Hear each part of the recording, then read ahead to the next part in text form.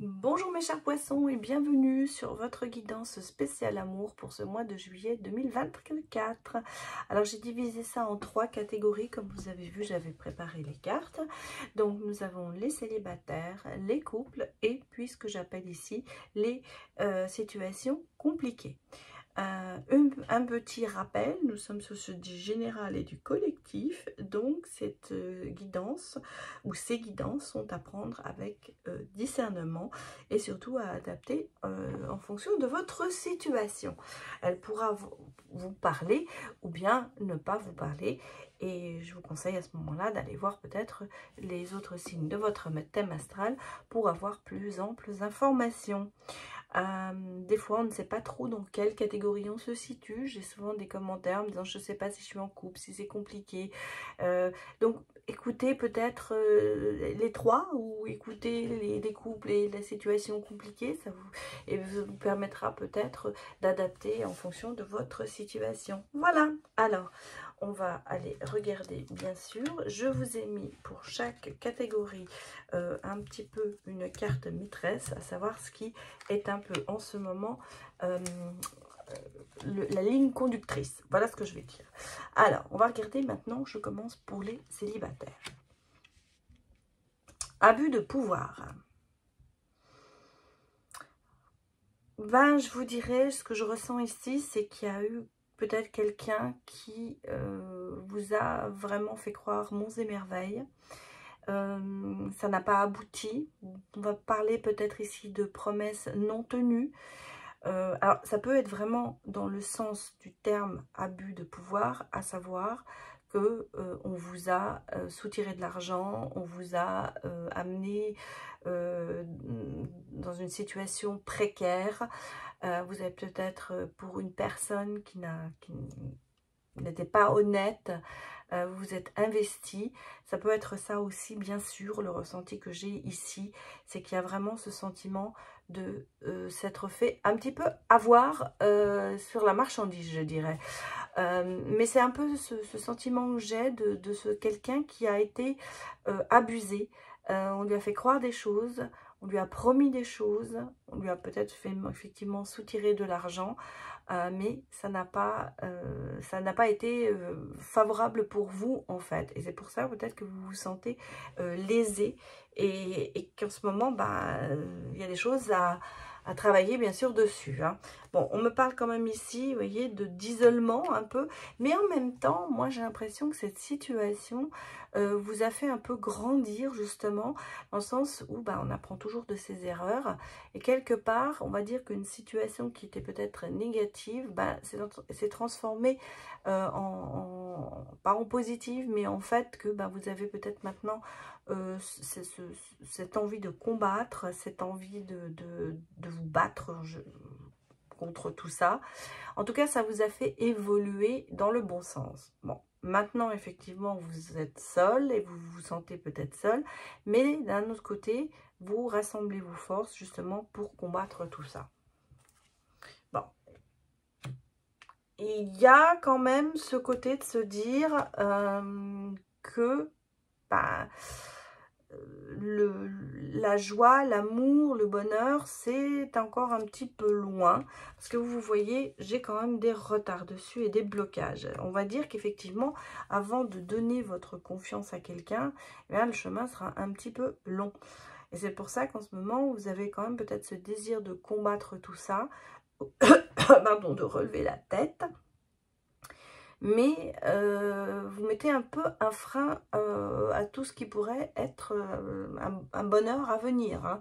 Donc, je pense que ce n'est pas votre priorité en ce moment de retrouver quelqu'un. Je pense qu'en ce moment, le, la chose qui, est à prioriser, c'est de vous reprendre, de, travailler là-dessus. Et vous voyez, regardez, on vous le dit, hein, prenez du temps, n'allez pas trop vite en besogne. Euh, parce que bon, vous avez complètement bloqué et c'est compréhensible. Et qu'il là, il faut quand même que vous preniez le temps de se euh, régénérer et de, de, se retrouver soi-même euh, pour avoir cette force de continuer à combattre. Alors, il faut bien sûr essayer de pardonner et lâcher prise. C'est très difficile, ça je peux, vous je peux vous comprendre. Surtout si vous avez vraiment quelqu'un qui a abusé de vous financièrement et qui a quand même euh, peut-être euh, une plainte qui a été déposée. Il y a peut-être un jugement, il y aura peut-être du tribunal, peut-être des choses comme ça. Donc c'est vraiment très difficile à, à gérer et à rester dans le calme. Mais surtout, surtout, prenez du temps pour vous, parce que vous en avez vraiment besoin pour vous retrouver et pour pouvoir euh, sortir de cette situation. Bon, moi j'ai quand même ici, vous voyez, on a apprendre des nouvelles, recevoir des messages. Donc, euh, il y a quand même quelque chose par rapport à cette personne qui était quand même dans votre, euh, votre cœur. Et je pense qu'il y a ici des choses que vous avez appris ou que vous allez apprendre encore. Hein, parce qu'on me dit que c'est quand même sur la personne de votre cœur et que cette personne, ben, on a vu, il y a eu un abus de pouvoir. Hein. Donc, euh, il y a des choses encore euh, qui fait que ben, vous allez apprendre des choses peut-être pas faciles et qui risquent de vous blesser encore plus. Bon, qu'est-ce qu'on me dit ici? Ben oui, regardez, un hein, temps aux disputes et tout ça, querelle. Donc, on va dire que les choses que vous allez apprendre, ça, va, euh, ça ne va pas euh, arranger les choses, ça va même plutôt les envenimer. C'est pour ça que je vous parle peut-être même de plein de choses comme ça, parce que j'ai le sentiment qu'il y a vraiment eu euh, un abus de, pouvoir, mais dans le sens où euh, on vous a soutiré de l'argent, vous, avez dépensé beaucoup pour quelqu'un, on vous a volé, on vous a promis... J'ai comme ça, l'impression que vous étiez tombé sur un imposteur ou une imposteur imposteur féminin masculin, hein, euh, il y a quelque chose qui, s'est passé dans votre vie qui fait que, bon, même si ça vous a appris des choses et si vous grandissez avec ça, et que vous avez quand même cet esprit combatif, ben, euh, il y a des choses qui vont vous mettre encore plus en colère et je sens qu'il y aura quand même des, euh, beaucoup de divergences et de problèmes à régler pour cette situation. On vous dit quand même de vous focaliser sur le positif, de voir que, bon, finalement vous avez appris peut-être les choses à temps et que ben c'était peut-être une, bon c'est une expérience qui, qui, euh, vous a euh, coûté mais qui on va dire vous a fait quand même un petit peu évoluer et surtout rechercher le positif pour justement pour pouvoir avancer dans votre vie. Alors bien sûr je sais très bien que quand on est dans cette situation euh, on a envie de tout faire exploser et qu'on n'a pas confiance du tout, mais gardez votre confiance en vous, surtout pour voir, pour savoir que de toute façon, vous évoluez et vous évoluez dans le bon sens et il y aura certainement des solutions pour régler ces problèmes. Voilà pour euh, les euh, célibataires. Pour les couples, qu'est-ce qu'on me dit? J'ai le 6 d'épée. Bon, bah, j'allais dire, vous êtes euh, en phase de séparation. En tout cas, il y a une transition. On a le sentiment de quitter quelque chose. Alors, est-ce que le couple bat de l'aile en ce moment et que vous êtes en train de réfléchir à, une rupture? Euh, il, y a, cette phase de transition, il y a cette phase de ne pas savoir vraiment où on va. Est-ce que cette décision est difficile à prendre pour vous? Euh, Il y a problème, vous voyez, avec la boussole, c'est qu'on cherche sa direction, on cherche à savoir où on doit aller. Et là, j'ai l'impression que vous êtes, bah, oui, en, phase de, se dire, euh, il faudrait que je le fasse, mais est-ce que je peux le faire? En fait, c'est une décision qui est très lourde à prendre et euh, j'ai l'impression que vous cherchez un petit peu à savoir si vous devez le faire ou pas on sait qu'il y a du voilà il y a des choses qui se sont brisées il y a, il y a de la peine il y a du chagrin il y a certainement euh, euh, ce côté de, on a mis sa confiance dans quelqu'un et, puis voilà ben, ça, s'est brisé tout ça. Donc le, couple est pour moi ben, un petit peu un petit peu en train de battre de l'aile. Hein. Je ne vais pas vous le cacher euh, vraiment. En ce moment, en plus, je trouve qu'il y a quand même beaucoup d'isolement. Vous vous sentez seul dans votre couple, où il n'y a pas peut-être pas assez de dialogue et d'échange. Il y a peut-être eu bien sûr de la trahison, il y a peut-être eu des histoires euh, d'autres personnes qui se sont mis là. Euh, pourtant, c'était vraiment la personne avec qui vous vous sentiez bien. C'était la personne de votre cœur. C'était la façon de, de, de, une avec qui vous aviez quand même beaucoup de choses à partager et euh, où vous sentiez euh, que vous pouvez aller plus loin dans cette relation, dans, ce, dans. On va parler de couple ou de relation. Hein, voilà mais là, on sent qu'il y a quelque chose qui s'est brûlé, euh, brûlé, oui, brûlé, on s'est brûlé les ailes aussi peut-être, mais qui s'est brisé quand même dans tout, ça. Malgré tout, on essaie quand même de rester dans la paix et de justement de garder la tête froide et de communiquer euh, correctement. Je ne sens pas euh, le, côté de brutalité dans le couple. Malgré tout, est-ce qu'on va s'arrêter plutôt, euh, on sait peut-être euh, votre couple ou cette relation, c'était peut-être plutôt basé sur de la passion, de l'attirance, même de la sexualité, on va dire, mais qu'il y a... Euh, il y a un moment ça marche plus. Hein. Et moi, je vous ai dit, vous êtes isolé dans votre couple et vous avez le sentiment d'étouffer hein, dans cette relation.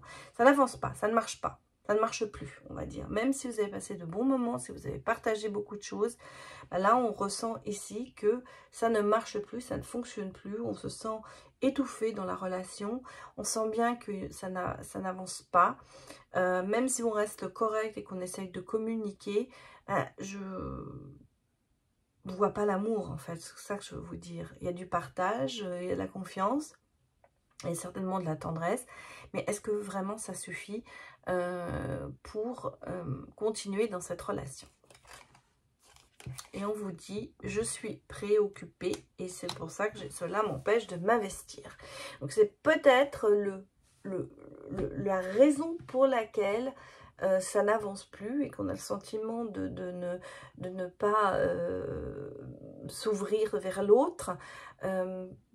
certainement que certaines priorités préoccupations pardon, euh, font qu'on n'arrive pas à s'investir plus. On a peut-être cette relation qui s'arrête vraiment euh, cette, on va dire, cette sexualité, mais il n'y a pas d'autre chose derrière parce que chacun n'est pas bien dans sa, dans sa tête et pas bien dans sa position. C'est pour ça qu'on a le sentiment d'étouffer et euh, bon, bah, on communique, mais on communique, est-ce qu'on communique bien? Voilà. Est-ce qu'on communique les bonnes informations?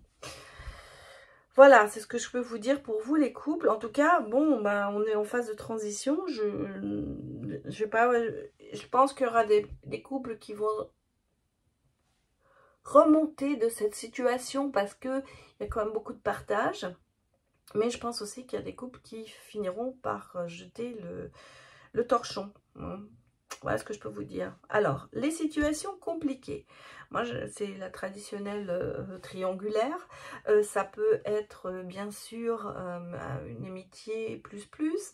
On a commencé une histoire en se disant qu'on ne s'investissait pas beaucoup, qu'on soyait que pour le plaisir. Puis ça se complique, effectivement, par rapport à, aux sentiments qui sont là. Bien sûr, ça peut être un couple en pleine crise qui ne sait pas, mais on l'a déjà vu ici, euh, qui ne sait pas comment, euh, comment se comporter, c'est-à-dire en se disant je suis en couple ou je suis célibataire. Donc voilà pour vous expliquer un petit peu. Qu'est-ce qu'on me dit? On a le 2 de bâton qui est la réflexion et la décision. Donc ça peut effectivement, vous voyez, être la suite du couple parce que là on sent que euh, il y a en ce moment on se pose quand même beaucoup de questions sur cette relation euh, va-t-elle continuer Va-t-elle aboutir euh, Voilà, on est vraiment en ce moment, euh, les poissons, j'ai l'impression que dans toutes les situations amoureuses, bah, c'est pas le top hein, ce mois de juillet. Bon, il y a des messages, il y a des nouvelles, il y a des choses qui, qui se passent, mais en même temps, on sent que bah, c'est quand même beaucoup d'oppression. Hein on a les menottes, on a une relation toxique, on a les chaînes du passé. On a l'impression que vous avez quand même assez oppressé euh, par, tous ces, messages. J'ai l'impression que ces messages, ce pas des communications euh, fort sympathiques. peut-être intéressé, peut-être querelle. En tout cas, c'est pas de tout repos hein, pour vous, les situations compliquées. Là, j'ai quand même ici, vous voyez, quelqu'un qui est très séduisant, mais qui peut être dangereux. Donc, moi, je ne vois pas vraiment l'amour dans cette relation. Pour moi, c'est vraiment une situation où on s'est pris à un jeu et là, on ne sait plus trop comment s'en sortir. Euh, je sens qu'il y a de la querelle. Je sens que c'est pas, c'est pas de, pas des messages d'amour hein, que vous vous lancez.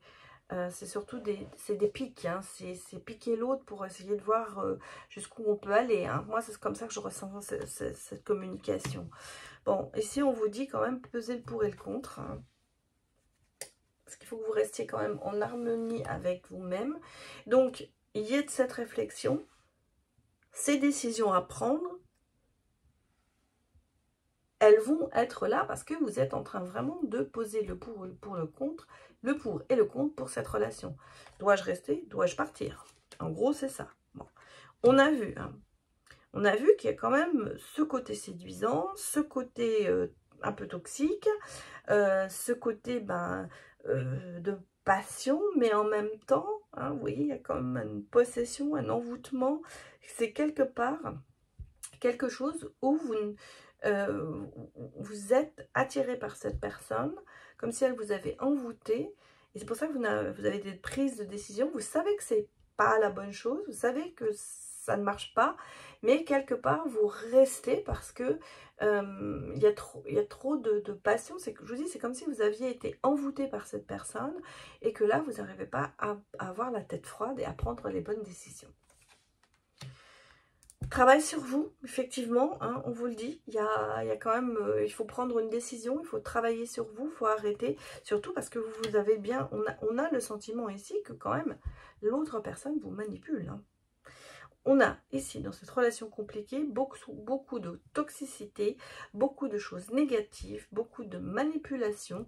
En tout cas, on sent qu'ici, il y a quand même quelque chose qui vous attire dans cette personne, mais vous savez quelque part que c'est pas la bonne chose. Mais regardez, vous avez peur de perdre cette personne, quelque part.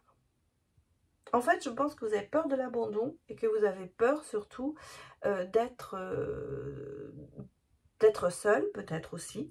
Et c'est pour ça que vous acceptez une situation qui, en temps normal, on va dire, ou de l'extérieur, tout le monde aurait dit qu'il faut la quitter depuis longtemps, cette situation. Voilà ce que je peux vous dire les poissons. Donc c'est pas très très joyeux euh, pour vous ce mois de juillet, mais il y a quand même euh, bon, des choses qui vont certainement évoluer, euh, ou en même temps ça peut vous faire prendre conscience que la situation en ce moment est, vraiment précaire et a besoin de décisions importantes. Voilà mes chers poissons, j'espère que ça vous a parlé, même si malheureusement c'est pas ce que j'aurais aimé vous dire de plus. Mais Passez quand même un excellent mois de juillet et je vous dis à très bientôt. Au revoir.